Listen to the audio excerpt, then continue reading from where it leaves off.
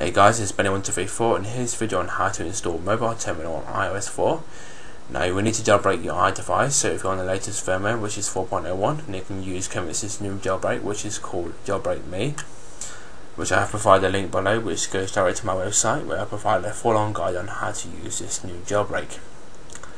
Now you can do this two ways, you can either SSH into your iDevice or use a program to access the directory folders on your iDevice. Now with the second method, you will need to install a service which is called AFC2add, which can be found in Cydia. So if you haven't already got that installed, then go install that now.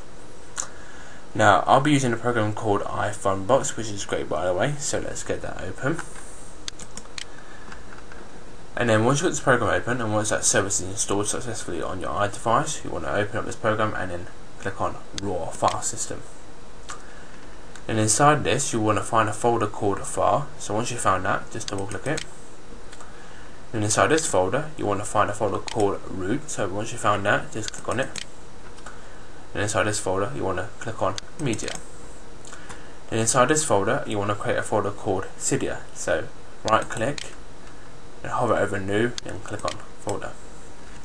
So just type with a capital C then Cydia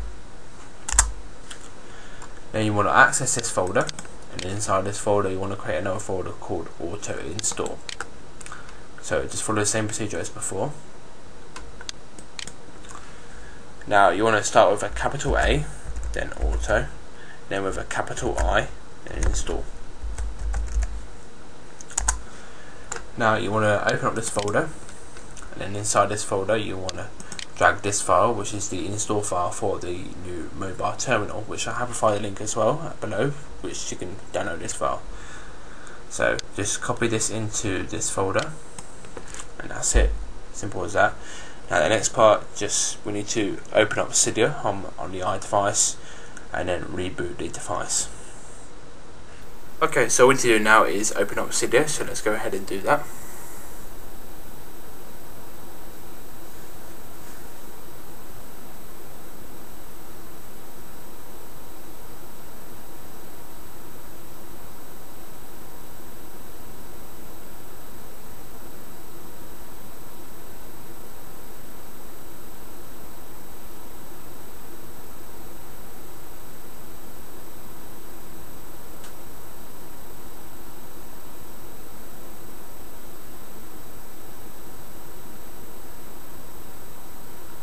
Okay, so we've done that, so let's just back out. Now we just need to reboot the device.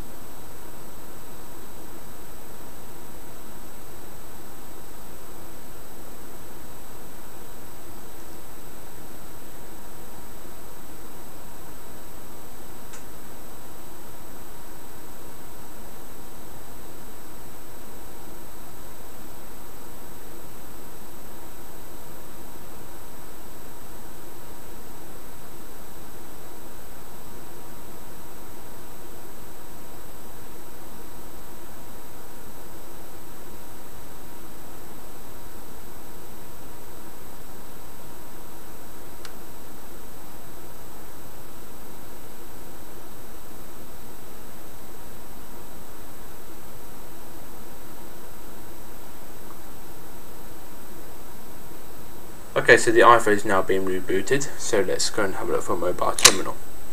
So let's go to the next page, the next page, and there we have mobile terminal installed on the home screen. So let's go and open it up. And there we have it. So I hope this video was helpful. Please like, comment and subscribe.